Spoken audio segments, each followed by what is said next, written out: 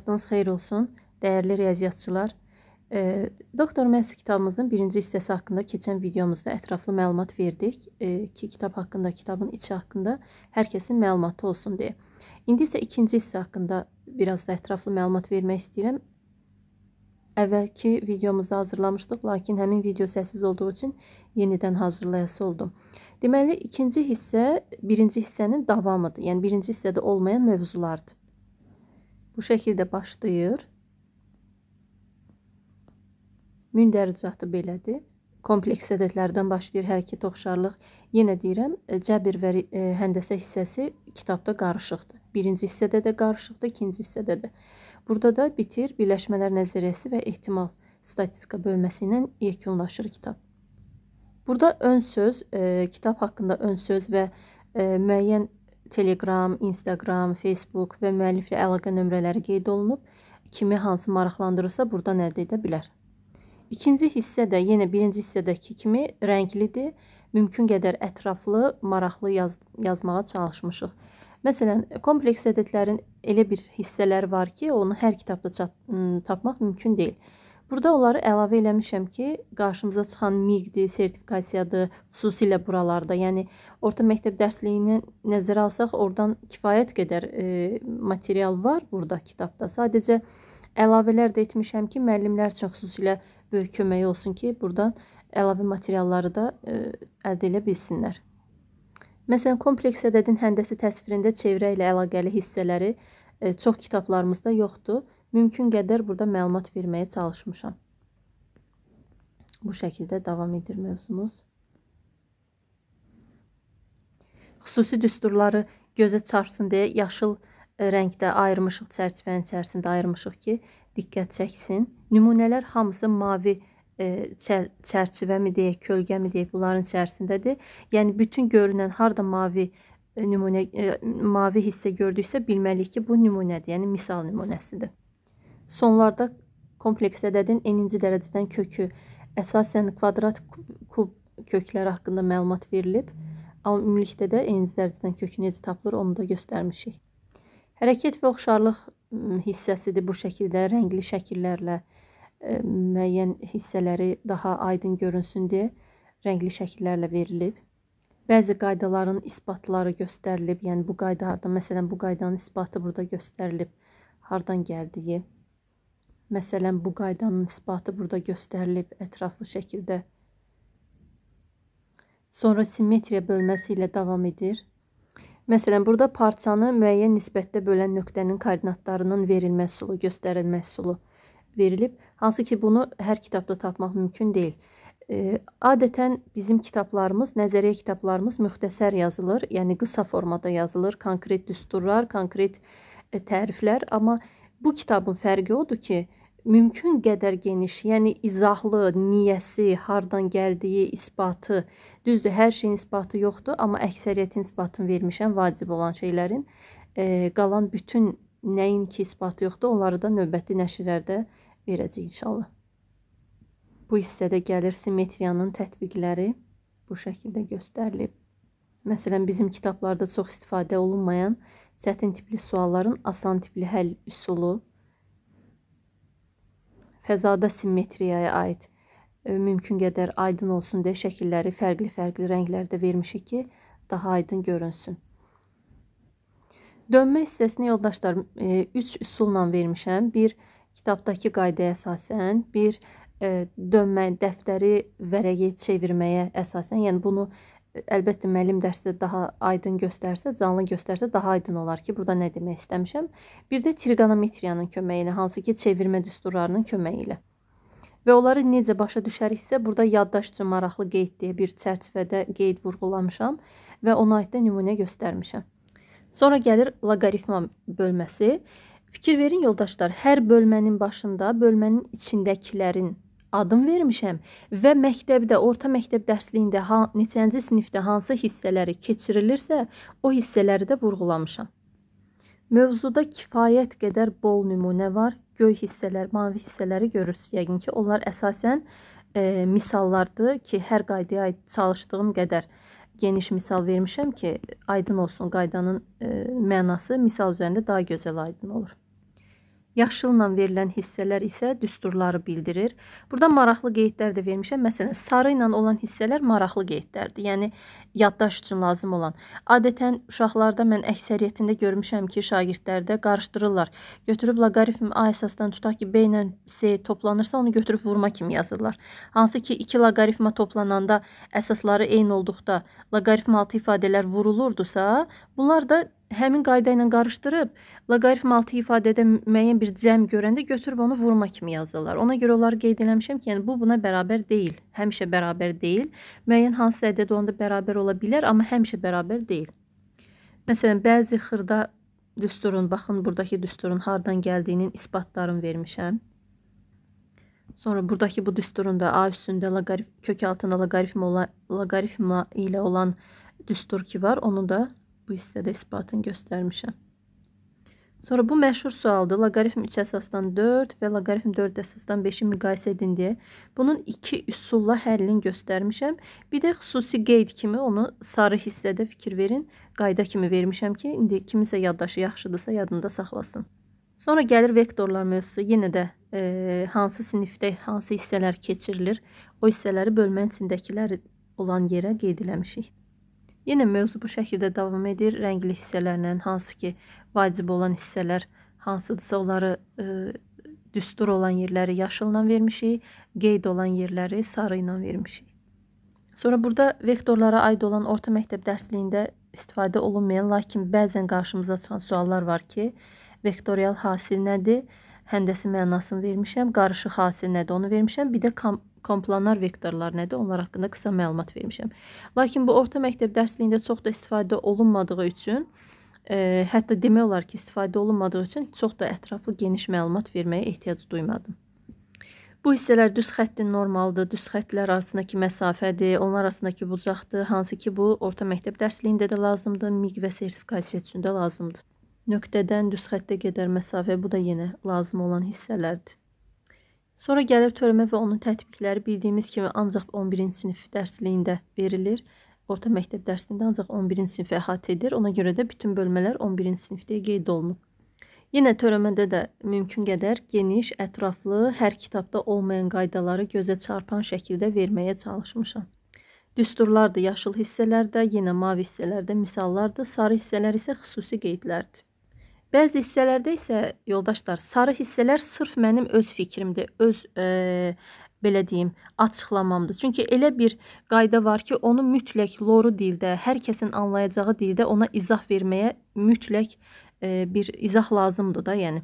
Ona görə də indi hər kəsə də bir müəllim, iki müəllim, eyni müəllim hər kəsə o dərsi izah edə bilməz deyə mümkün qədər bunu YouTube kanalında izah vermişəm, e, kitabda vermişəm ki, o həmin hissələrdən hər kəs yararlana bilsin. Məsələn, burada iki əyri arasındakı bucaq deyiləndə nə başa düşülür? Törəmənin köməyi ilə onu necə hesablayırıq? O hissəni vermişəm. Funksiyanın tərsinin törəməsinin tapılma qaydasını vermişəm. Misalda göstərmişik. Ən məşhur suallardan törəmə nöqtəsinin e, e, törəmənin törəmə mövzusunda böhran nöqtəsi nədir, stasionar nöqtə nədir, nə vaxt böhran nöqtəsi var, nə vaxt yoxdur, nə vaxt törəmə var, bu hissələri mümkün qədər geniş-geniş açıqlamağa çalışmışam bir neçə nümunələrlə.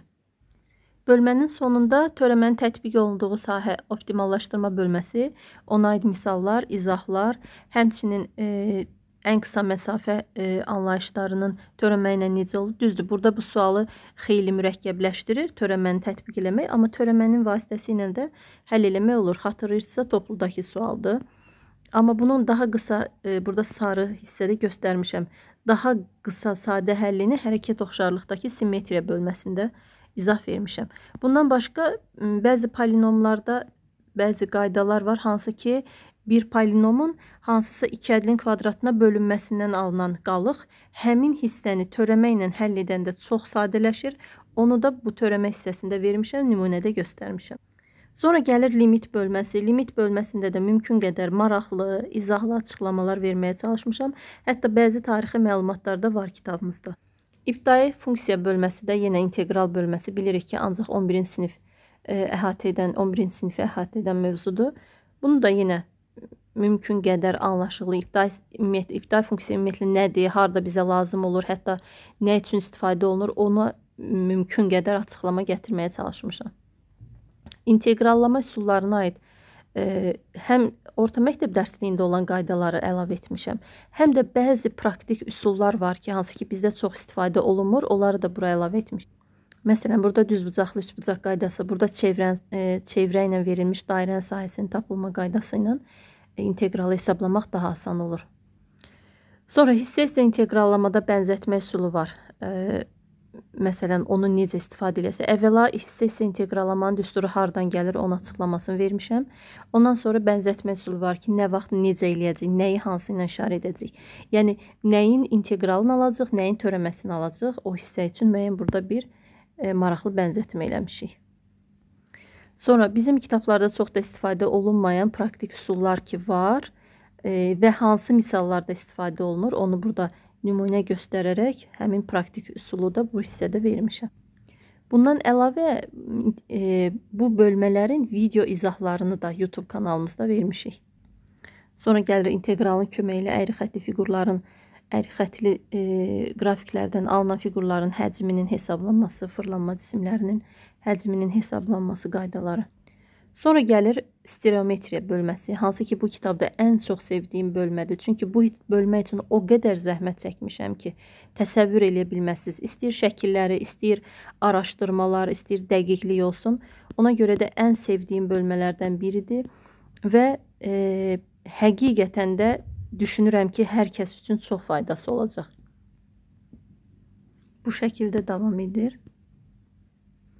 Bilirsiniz ki, stereometriya fəza bölməsində ümumiyyətlə şəkillərin təsəvvürü, fiqurların alınan ə, e, cisimlərin təsəvvürü çox vacibdir. Ona görə onları da mümkün qədər aydın şəkildə qurmağa çalışmışıq. Sonra gəlir çox üzlülər. Yenə hansı sinifdə keçirilir o hissəni vermişəm. Mümkün qədər hər növündən danışmışıq. Müəyyən kəsikləri haqqında da danışmışıq, nümunələr göstərmişəm rəngli şəkillərlə vermişik. Məşhur suallar. Məsələn, bu sual məşhur sualdır. Bu sualın həllini vermişəm kitabda. Hər bir fiqurun özünün sahə düsturları, diaqonalı və s. kimi düsturları yenə yaşıl hissələrdə verilib ki, gözə çarpan olsun. Bildiyimiz kimi bizim orta məktəb dərsliyində çox da istifadə olunmayan, e, demək kubun, prizmanın, paralelipipedin üzərindəki hərəkət nə bilim qarışqa deyir, hər nə deyir, hərəkət zamanı ən qısa məsafə, qısa yolların tapılması qaydası. Bunun üçün bir neçə nümunələr göstərmişəm, hansı ki, həmin hərəkət zamanı fiqurun açılışını nəzərə alanda e, ən qısa məsafə necə alınır deyə. Sonra piramida hissəsi gəlir. Piramidanın qurulmasını belə şəkli necə qursaq səmərəli olar, rahat qurmaq olar, onu belə göstərmişik şəkil e, kitabda. Məsələn, burada Piramidanın e, yan səthinin sahəsi hardan alınır, onun izahını vermişəm. Bir növ isbatlı da vermişik. E, xüsusi halda e, oturacağın sahəsi necə tapılır, onu göstərmişik. Piramidanın həcmindəki üçdə bir hardan gəlir, onu vermişəm, izahını göstərmişəm.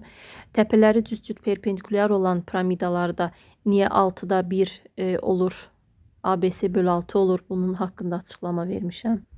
Sonra məşhur suallardan olan bu sualı mümkün qədər izahlı verməyə çalışmışam. Piramidada dilimlərin həcminin tapılması qaydası kitablarımızda yoxdur. Əksəriyyət, yəni mən görməmişəm. Əksəriyyət kitablarda yoxdur, amma mən kitabı əlavə eləmişəm. Hardan gəldiyini də burada izahda göstərmişəm. Sonra gəlir fırlanma cisimləri. Ən sadəsindən, ən başlanğıcından izah verməyə çalışmışam ki, nədir, hardan gəlir və nəyə əsasən hesablanır. İstəyir sahəsi olsun, istəyir digər ölçüləri.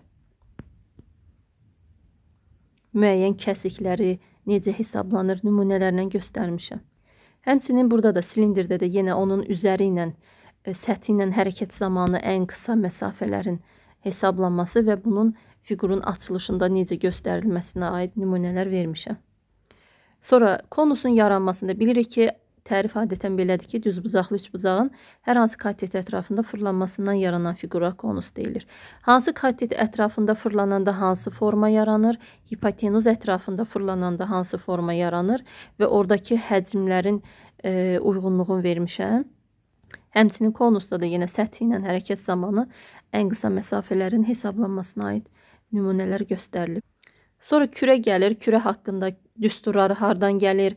Məsələn, həcm düsturundakı 3-də 4 Pier kubu hardan gəlir? Onun izahını vermişəm, açıqlaması var. E, kürə qurşağı nədir? Kürə e, dilimi nədir? Və yaxud da kürə qatı nədir? Bunlar haqqında da məlumat var. Sonra da e, mövzunun sonunda müxtəlif fəza fiqurlarının kombinasiyaları verilib. Hansı-hansının daxilində olanda, xaricində olanda düsturlar necə olur?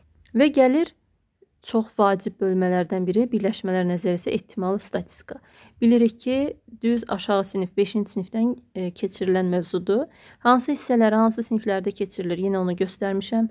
Mümkün qədər ən sadəsindən e, geniş nümunələrlə vermişəm. Yəni burada mavi hissələr boldur, çünki ehtimalı ən çox başa düşəcəyimiz üsul nümunə üsuludur. Ona görə də mümkün qədər bol nümunələr vermişəm. Binom olan Paskal üçbucağı, binom olan hissələr də bu şəkildə verilib.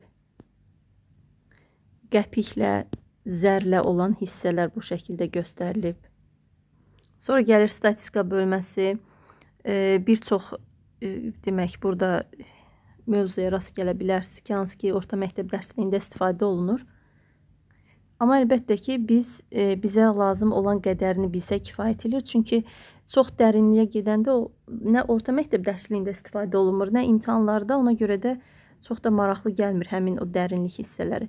Və kitabın sonunda yenə birinci hissədə olduğu kimi vahidlər, e, bir-birinə çevrilmələri, sonra kvadratlar cədvəli, sonra kvadrat köklər cədvəli vermişəm.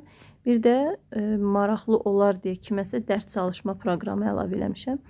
İnşallah kitabımız hər kəs üçün xeyirli, uğurlu olsun. Təşəkkür edirəm izlədiyiniz üçün.